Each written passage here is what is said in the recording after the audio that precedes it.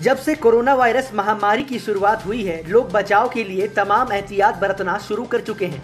लेकिन ये वायरस गाहे बगाहे लोगों की तैयारियों और एहतियातों को अंगूठा दिखा देता है। कोरोना से बचने के उपायों के मामले में आम लोग अधर में लटके हुए हैं। कोरोना वायरस को लेकर जो नया खुलासा हुआ है, उसे सुनकर आप दंग रह जाएँगे।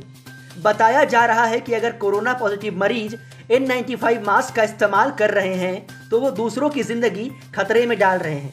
क्योंकि N95 मास्क में लगे वॉल्ड रेस्पिरेटर्स से वायरस के वातावरण में फैलने का खतरा रहता है। इसलिए केंद्र ने सभी राज्यों और केंद्र शासित प्रदेशों को पत्र लिखकर लोगों के वाल्व रेस्पिरेटर्स लगे N95 मास्क पहनने पर रोक लगाने की बात कही है। लेटर में कहा गया है कि इससे वायरस का फैलना नहीं रुकता। इसलिए केंद्र ने सभी राज्यों और केंद्र शासित प्रदेशों को पत्र लिखकर लोगों के वाल्व रेस्पिरेटर्स लगे N95 मास्क पहनने पर रोक की बात कही है। लेटर में कहा गया है कि इससे वायरस का फैलना नहीं रुकता और ये कोविड 19 महामारी को रोकने के लिए उठाए गए कदमों के उलट है। स्वास्थ्य मंत्रालय के स्वास्थ्य सेवा महानिदेशक का साफ़ तौर पर कहना है कि अपने चेहरे को ढकने के लिए बेहतर यही है कि घरों में बने कपड़े के मास्क का इस्तेमाल किया जाए। इन होम मेड मास्क को इस्तेमाल के बाद प्रतिदिन धोने की भी ज़रूरत है।